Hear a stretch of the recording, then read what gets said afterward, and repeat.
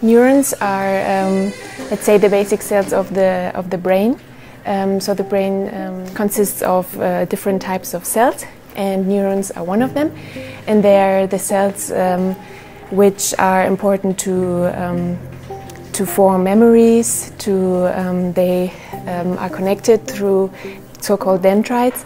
So they are communicated and they give signals from, um, from neuron to neuron, from cell to cell, over these dendrites and over axons. And um, so the neurons are the basis of, of our living, so um, they're the basis to, to see, to think, to create memories, and yeah. I mean, there have been a lot of studies in, in rodents, so in mice and in, in rats, um, that have been um, shown that um, exercise can induce neurogenesis.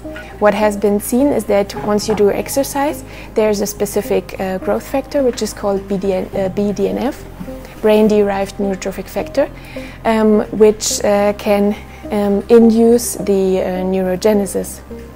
And it does so by uh, binding to neurons and then um, this growth factor is um, internalized into these neurons, and then um, it activates uh, specific pathways, for example, um, neurogenesis.